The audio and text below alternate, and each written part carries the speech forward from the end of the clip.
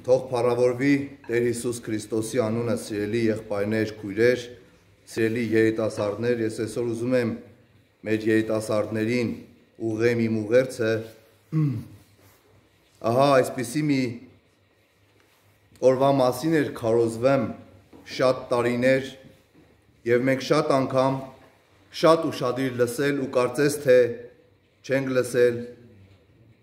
միտք չենք առել, որ իրոք այս օրերը իրականություն են դառնալու եւ գալու են եւ միշտ մեզ թվացել է, որ այսպես է լինելու, որ պետքա պաշտամունքներ լինեն, որ պետքա աղոթքներ լինեն, երկողը պետքա երկի, ծառայողը պետքա ծառայի, մենք էլ պետքա այսպես ասած ձայնակցելով գնանք իրար հետ։ Բայց սիրելիներ, տեսանք, որ անսպասելի մի իրավիճակ եկավ եւ շատերս նայեցինք մեր վիճակներին, մեր սրտերին եւ մեր սխալները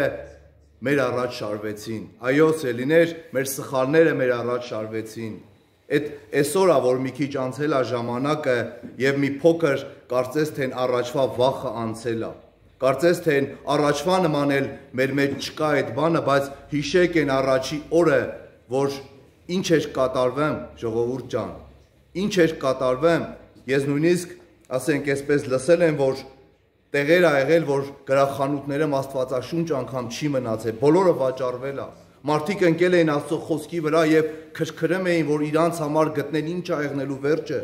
բայց սրանք շուտ քարոզվել են։ Վաղուց մեր եղբայրները միշտ խոսել են սրա մասին, որ իրոք այսպիսի օրեր են գալու, բայց սա դեռ վերջը չի։ Ավելի այսպես ասած դժվար օրեր են գալու սիրելիներ, երբ որ այս առաջի հարվածը անցավ, այս պահը անցավ եւ Փարտիրոջը մեր եղբայրները սկսեցին խոսել ժողովրդի հետ ինտերնետի միջոցով, այս կապերի միջոցով մարդիկ մի քիչ սկսեցին հուսավորվելը։ Մարդիկ սկսեցին մի քիչ ավելի հույս ստանալը, բայց ուզում եմ մի բան հիշեցնեմ եղբայրներ, քուրեր, Ինչպես այսօրը մեզ համար իրականություն դարավ ու չենք սպասեմ, բայց գալու է մի այդպիսի օր էլ, որ այս ինտերնետն էլ չի եղնելու եւ այդ հերախոսներն էլ չեն եղնելու, այլևս չես կարողանալու ինչ որ մեկից ստանաս, ինչա լինելու մեր վիճակը։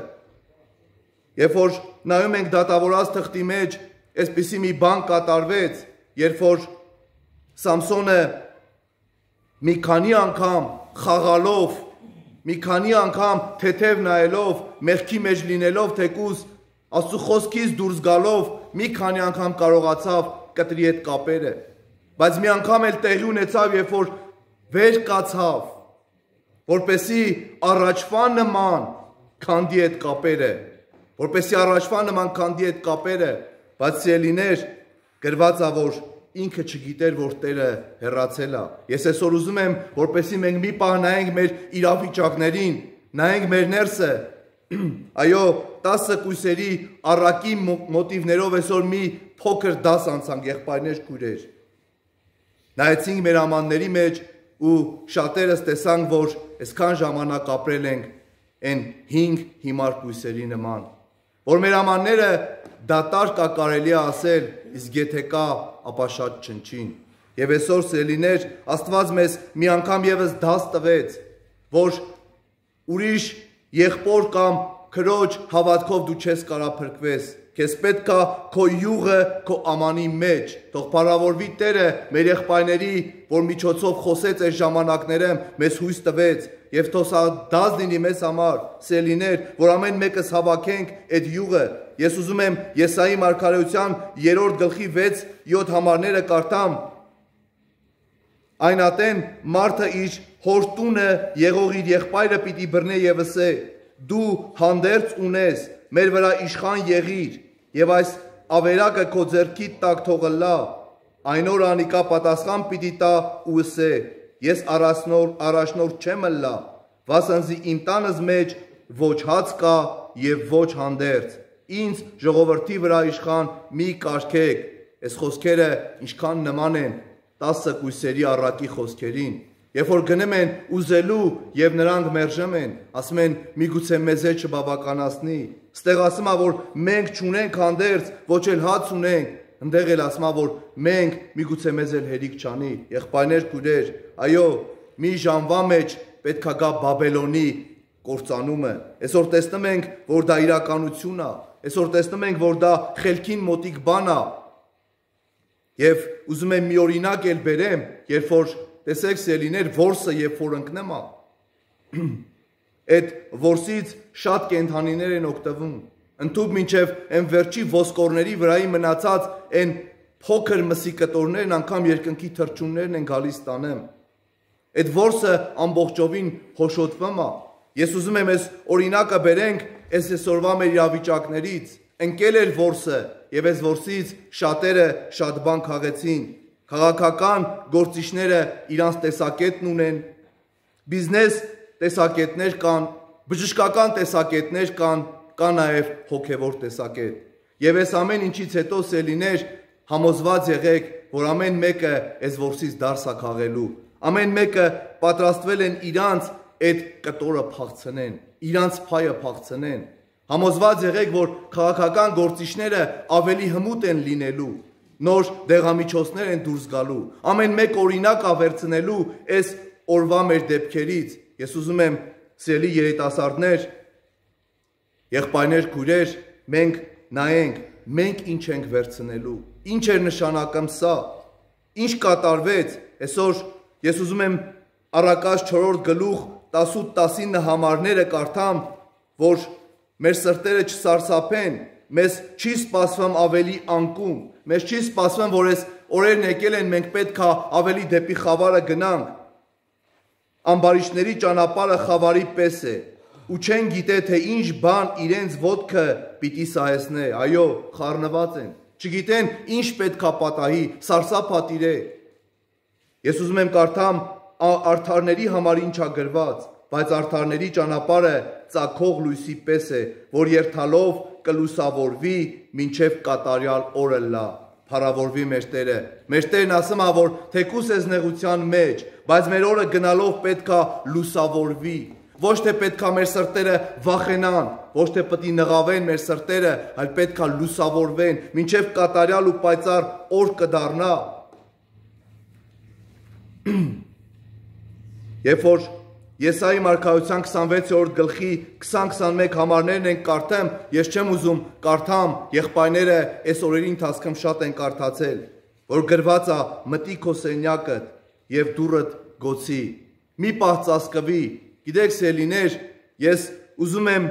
հիշեցնեմ, որ Աստված իր մասին գրված է Եսայի մարգարության 45-րդ գլխի մեջ, որ Տերը ծածկվող Աստված է։ Այսօր Տերը թույլ է տալի, որ մենք մտնենք Քրիստոսի մեջ, որ մենք ծածկվենք Քրիստոսի մեջ եւ սովորենք մտերմություն անենք, սովորենք Սուրբ Հոգու ձայնը զանազանենք, սովորենք լսենք ու առաջնորդվենք Սուրբ Հոգու ձայնով։ Գիտեք, ոչ մեկի հավատքը քեզ չի փրկելու։ Երբ որ Տեր Հիսուսը Պետրոսին ասավ. «Պետրոս, արի իմ հետևից», գիտեք, շուռ եկավ նայեց Հովանեսին ու ասավ. «Տեր, բասա»։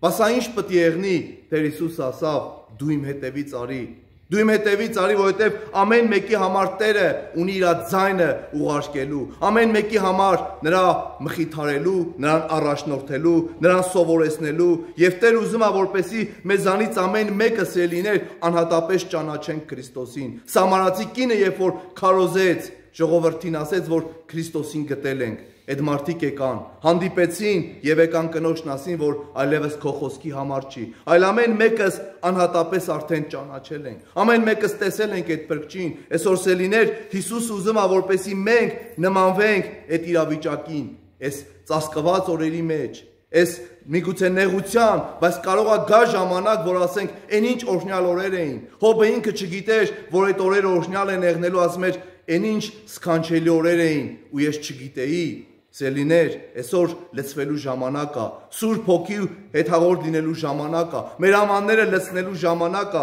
եւ ուզում եմ մի օրինակ էլ բերեմ եւ ավարտեմ խոսքս, երբ որ թրթուրը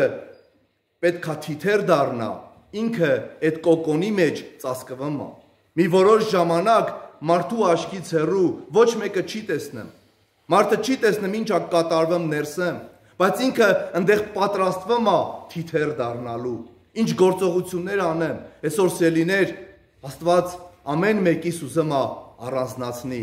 մեր ներքին սենյակների մեջ։ Ինչպես եղբայրը հիշեցրեց մեր սրտի մեջի մեղքերը երևացնելու, ցույց տալու մեր շտկվելու, մեր ուխտը նորոգելու ժամանակն է եկել։ Երբ որ Նեմյան 13-րդ գլխի մեջ հիշեցնում է Բաբելոնի գերությունից դուրս են գալիս, գրված է որ ամեն մեկը սկսեց նորոգել իր ներսը, եւ Տուբիային տիրոջ տաճարից դուրս արեցին եւ այն կանանց ովքեր որ օտար կանանք էին խառնվել էին գրված անունից նրանք զավակները եբրայերեն խոսալը լավ չէին խոսում այսօր սելիներ պետքա մեր ընտանիքների մեջ մեր սենյակների մեջ անհատապես մեր կապը պահենք Տեր Հիսուս Քրիստոսի եւ Սուրբ Հոգու հետ, լսենք Սուրբ Հոգու ձայնը, մտնենք Քրիստոսի մեջ, ցելիներ ու կտենանք, որ մեր յուղը գնալով շատացել է։ Թող փառավորվի Տիրոջ անունը Հավիտյանը Սավիտենից։ Ամեն։